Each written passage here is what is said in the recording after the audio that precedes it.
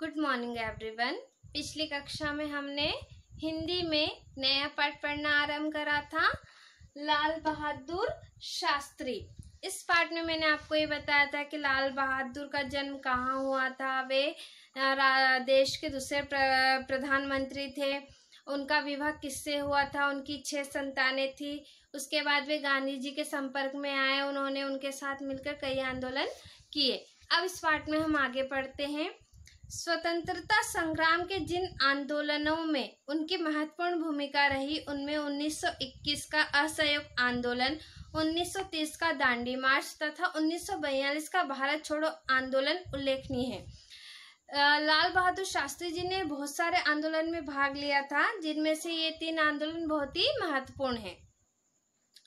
दूसरे विश्व युद्ध में इंग्लैंड को बुरी तरह से उलझता देख नेताजी सुभाष चंद्र बोस ने आज़ाद हिंद फौज को दिल्ली चलो का नारा दिया और गांधी जी ने 8 अगस्त 1942 की रात को बंबई से अंग्रेज़ों को भारत छोड़ो तथा भारतीयों को करो या मरो का आदेश दिया।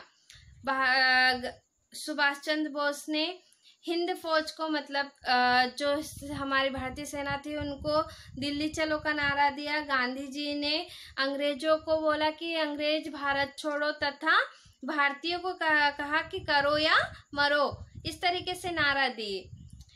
9 अगस्त 1942 के दिन शास्त्री जी ने इलाहाबाद पहुंचकर महात्मा गांधी जी के इस आंदोलन में अपनी महत्वपूर्ण व सक्रिय भूमिका निभाई।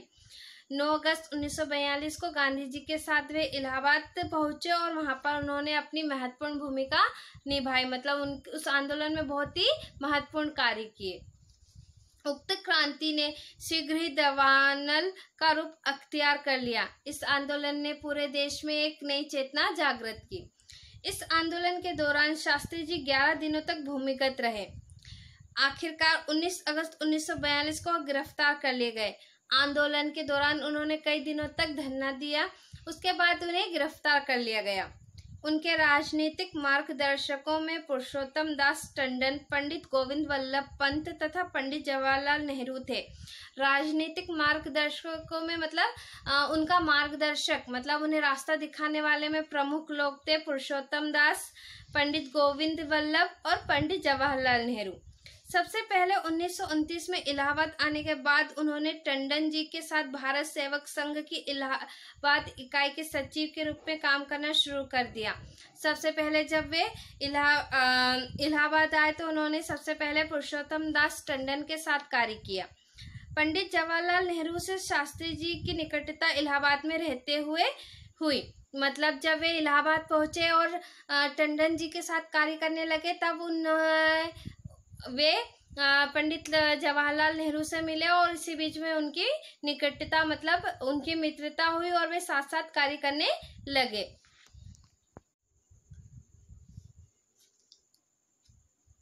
पंडित जवाहरलाल नेहरू से शास्त्री जी की निकटता इलाहाबाद में रहते हुए हुई। इसके बाद तो शास्त्री जी का कद निरंतर बढ़ता ही गया। उसके बाद वे सफलता की सीढ़ियाँ चढ़ने लगे। वह एक के बाद सफलता की सीढ़ियाँ चढ़ते रह गए और नेहरू जी के मंत्रिमंडल में गृह मंत्री के प्रमुख पद तक आ पहुँचे। पंडित नेहरू के निधन के बाद भारत के दूसरे प्रधानमंत्री बनने का गौरव भी शास्त्री जी ने प्राप्त किया। 1947 में शास्त्री जी उत्तर प्रदेश के गृह और परिवहन मंत्री बने। 1947 में लाल बहादुर शास्त्री जी को गृह मंत्री और परिवहन मंत्री के पद पर नियुक्त किया गया। इसी पद पर कार्य करते समय शास्त्री जी की प्रतिभा पहचान कर उन्नीस सौ बावन के पहले आम चुनाव में कांग्रेस पार्टी के चुनाव अभियान को संगठित करने की ज़िम्मेदारी पंडित नेहरू ने उन्हें सौंप दी थी। लाल बहादुर शास्त्री जी जितनी ईमानदारी से और लगन से कार्य करते थे उनकी लगन और ईमानदारी को देखते हुए पंडित जवाहरलाल नेहरू ने उन्हें कांग्रेस की ए, चुनाव की ज़िम्मेदारी सौंप दी। चुनाव में कांग्रेस भारी मोहब्बत से विजय हुई। जो ज़िम्मेदारी लाल बहादुर शास्त्री जी को सौंपी गई थी, उसमें वे सफल हुए और कांग्रेस पार्टी भारी बहुमत से विजयी हुई। जिसका श्रेय शास्त्री जी की संगठन कुशलता को भी मिला। इसका ही पूरी श्रेय मतलब जो सफलता प्राप्त हुई, उसका पूरा श्रेय शास्त्री जी को दिया गया। उन्नीस सौ बावन में ही शास्त्री जी राज्यसभा के लिए चुने गए। उन्हें परिवहन व रेल मंत्री का कार्यभार सौंपा गया। चार वर्ष बाद उन्नीस सौ छप्पन में अडियालू रेल दुर्घटना हो गई थी। आज मंत्री बनने के बाद चार साल बाद आ, एक जिला अडियालूर में एक दु, रेल दुर्घटना हुई जिसमें सौ लोगों की मृत्यु हुई। इस त्रासदी में लगभग डेढ़ सौ लोग मारे गए थे। इस त्रासदी में मतलब इस दुर्घटना में डेढ़ सौ मतलब एक सौ पचास लोगों का मृत्यु हुई, ऐसा अनुमान माना गया था।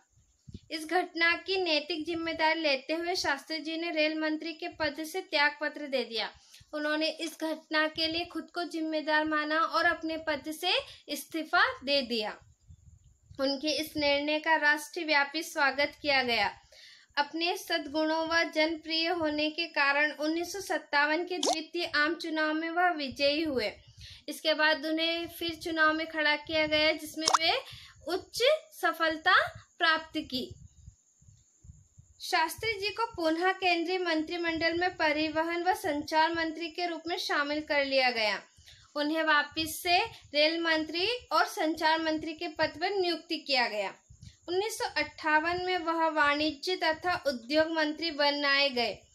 उसके बाद वे वाणिज्य और उद्योग मंत्री के पद पर स्थापित किए गए या उन्हें वो पद दिया गया। पंडित गोविंद वल्लभ पंत के निधन के बाद 1961 में वह गृह मंत्री बनाए गए। 1961 में उन्हें गृह मंत्री पद पर नियुक्त किया गया। यह उनके जीवन में एक बड़े राजनीतिक मोड़ के रूप में सामने आया। यह उनके राजनीतिक जीवन में सबसे बड़ी उपलब्धि थी। सन उन्नीस में कामराज योजना के अंतर्गत पद छोड़कर संस्था का कार्य करने का प्रश्न आया। तो शास्त्री जी ने आगे बढ़कर बेहिचक गृह मंत्री का पद त्याग दिया, जब संस्था के लोगों को उस कार्य को करने की आवश्यकता थी, तब उन्होंने सभी से पूछा और शास्त्री जी आगे बढ़े और उन्होंने गृह मंत्री पद से त्याग पत्र दे दिया और संस्था का कार्य संभाल लिया। पंडित जवाहरलाल नेहरू जब अस्वस्थ रहने लगे तो उन्हें शास्त्री जी की बहुत आवश्यकता महसूस हुई।